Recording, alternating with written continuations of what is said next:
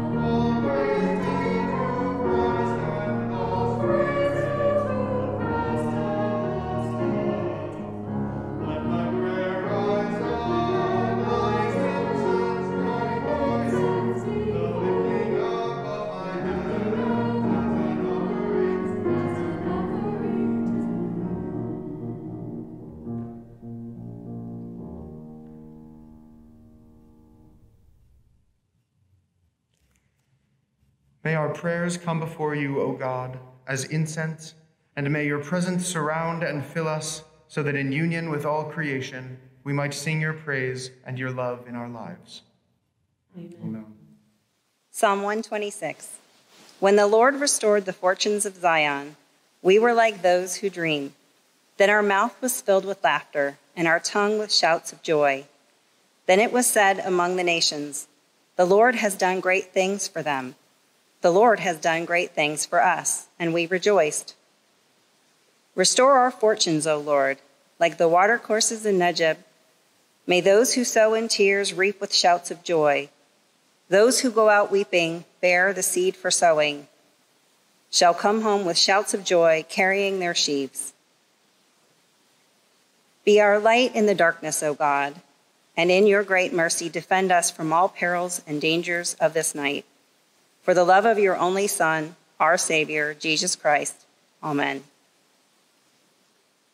The scripture is from Isaiah 61, verses 1 through 3, and verses 10 through 11. The Spirit of the Lord God is upon me, because the Lord has anointed me. He has sent me to bring good news to the oppressed, to bind up the brokenhearted, to proclaim liberty to the captives, and release to the prisoners to proclaim, proclaim the year of the Lord's favor and the day of vengeance of our God, to comfort all who mourn, to provide for those who mourn in Zion, to give them garland instead of ashes, the oil of gladness instead of mourning, the mantle of praise instead of a faint spirit. They will be called oaks of righteousness, the planting of the Lord to display his glory. I will Greatly rejoice in the Lord. My whole being shall exult in my God, for he has clothed me with the garments of salvation.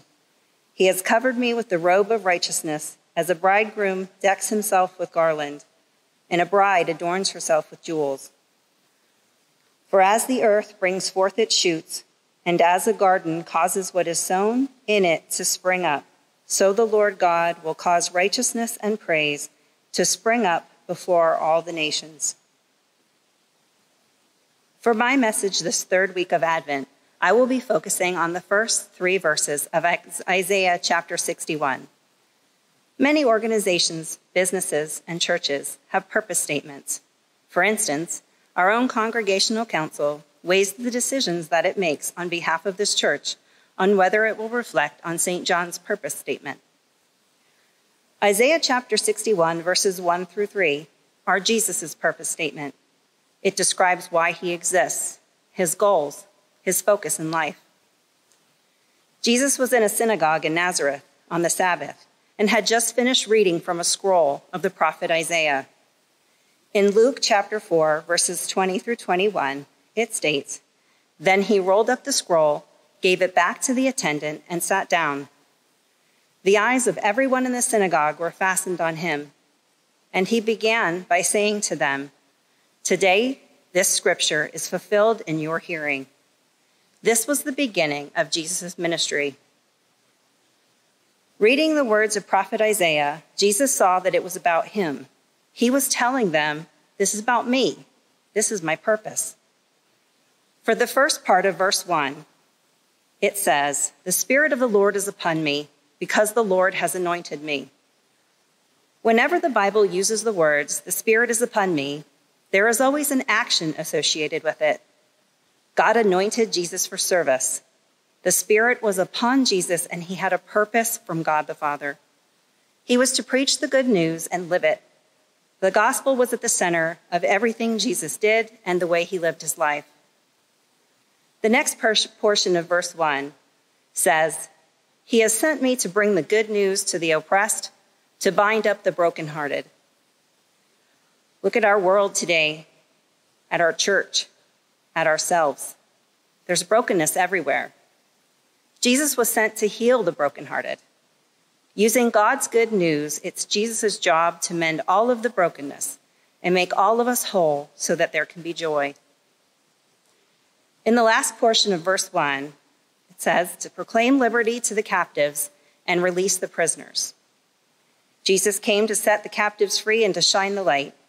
The gospel sets people free from darkness and from sin. In the second verse, to proclaim the year of the Lord's favor and the day of vengeance of our God. The year of the Lord's favor is also sometimes referenced, referred to in the Bible as the year of Jubilee. You can refer to Leviticus chapter 25 for a more complete description of what Jubilee entails. But the most important part of what I'm referring to is that during Jubilee, debts were canceled. Jesus came to proclaim the year of the Lord's favor, during which you are in a favorable condition to have your debts forgiven and your sins canceled. This is great news for all of us because we're all sinners. And we have hope because the year of the Lord's favor hasn't ended yet. It's very long, in fact, and it will not end until the second coming of Christ. Jesus also had to be bring some serious news about the day of vengeance of our God. This favorable time of forgiving our sins is not endless. On the day of vengeance, the believers will find comfort in their faith of Jesus and living in his ways. But for non believers, it will be a nightmare. Believers will be judged according to Jesus' life reflected in their actions, Non believers will be judged only by what they have done, and even their works of good will be found filthy. I'm going to refer to the New International Version of the Bible for the next part of the scripture because it gives me a better description of the associated verses. To comfort all who mourn, and to provide for those who grieve in Zion, to bestow upon them a crown of beauty instead of ashes, the oil of gladness instead of mourning and a garment of praise instead of a spirit of despair. Jesus came to comfort all who mourn. Jesus came for everyone. No one is excluded. His good news was to comfort all people. Most often we think of death in association with mourning. Scripture tells us that the greatest foe is death. It doesn't have to mean death, though. Mourning comes with the loss of something. It could be a job, a relationship, any kind of loss can cause mourning. Life apart from Christ is death. It is a life of mourning.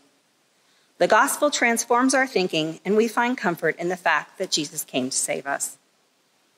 He will bestow upon them a crown of beauty instead of ashes. I can't imagine you wouldn't find more comfort under a beautiful crown than you would covering your body in ashes and a sackcloth, as was customary during the time of grieving. Being anointed with oil of gladness and adorned by a garment of garment of praise would certainly be more comforting than mourning and a spirit of despair. In the worst possible times of our lives, we don't have to mourn like those who don't have hope. We can have joy. There can be celebration and hope in the midst of despair. The final part of verse 3 says, They will be called oaks of righteousness the planting of the Lord to display his glory. Jesus came to plant righteous trees. In other words, Jesus came to plant the good news in people's lives. He's not going to just plant trees and leave. He's going to give us all that we need to be cared for. He's going to trim us and shape us and guide us through our growth with his care and love. When we're fully grown, oaks of righteousness, then it's our job to bring glory to God. How should we respond to these scriptures? John chapter 14, verse 12 says, I tell you the truth. Anyone who has faith in me will do what I have been doing. He will do even greater things than these because I am going to the Father.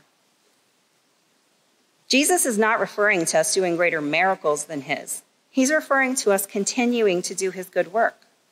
We don't have to do better than him, but together we can do more quantity than Jesus could accomplish in even his short years of ministry. When we feel the Holy Spirit stirring in our lives, we need to move to action. We need to pray about it and act on it. Whatever it is in that Spirit is moving us to do. If the Spirit is alive in someone else and they ask you for help, then go with them. Help them do God's work. We probably have an abundance of opportunities to bind up the brokenhearted especially during these times of pandemic. There are so many people affected, and that they could use our help. Sometimes it's lending an ear to someone who's lonely or depressed. People need to know they're loved and cared for. One of the easiest things you can do for someone is pray for them. Have a simple conversation with God on behalf of someone else. If you're struggling with praying, try treating it like God, He's your friend. Have a heartfelt conversation with Him. We can help set people free by sharing the gospel. Some of us feel like we need to learn the Bible better.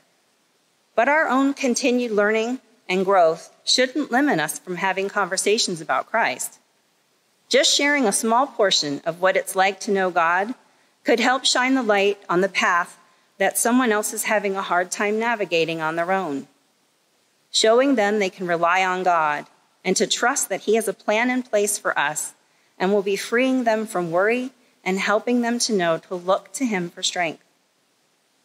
Just knowing that our sins are forgiven provides peace. Imagine helping some, to lead someone who doesn't know this amazing truth to God's enlightenment. I pray that Come to the Table and Operation 143 Ministries not only reach the needs of the people of our community, but that it will begin to fill a spiritual need and give people hope. Allow the Holy Spirit to work in your life. Not all prayers are answered right away. Sometimes they are granted in tiny pieces. Be still and listen for the messages. Don't be discouraged when you think God hasn't paid attention to your needs. God knows your plan. He has always been and always will be providing for your needs. In all the ways that you can see his blessings in your life, proclaim that good news. Tell people about it. Having been tended to Jesus to by Jesus' care and love as oaks of righteousness, we should give all the glory to God. The light shines in the darkness. And the darkness has not overcome it.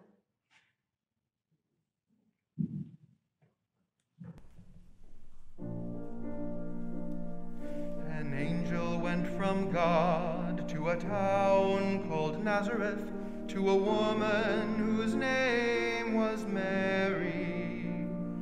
The angel said to her, Rejoice, O highly favored, for God is with you.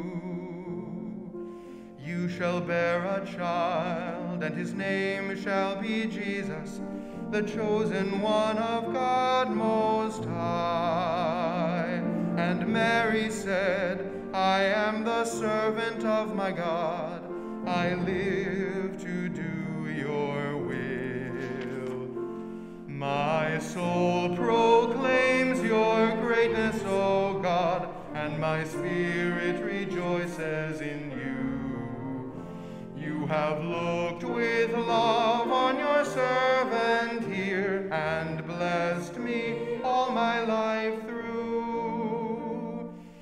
Great and mighty are you, O Holy One. Strong is your kindness evermore. How you favor the weak and lowly one, humbling the proud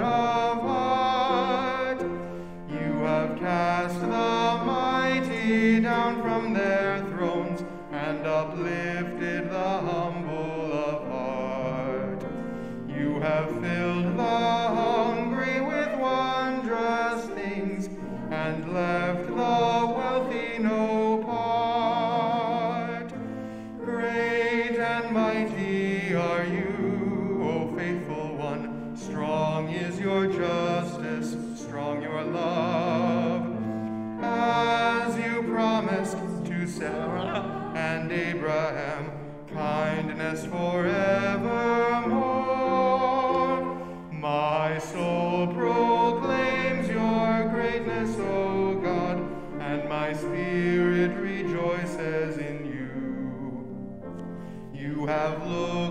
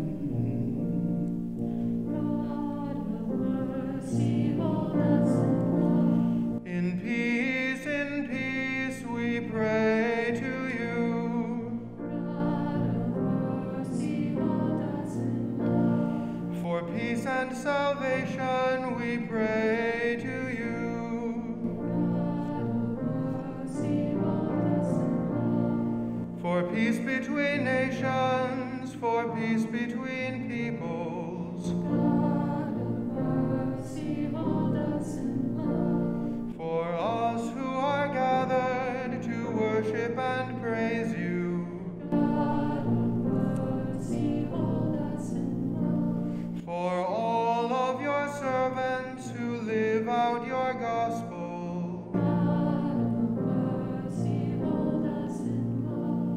For all those who govern, that justice might guide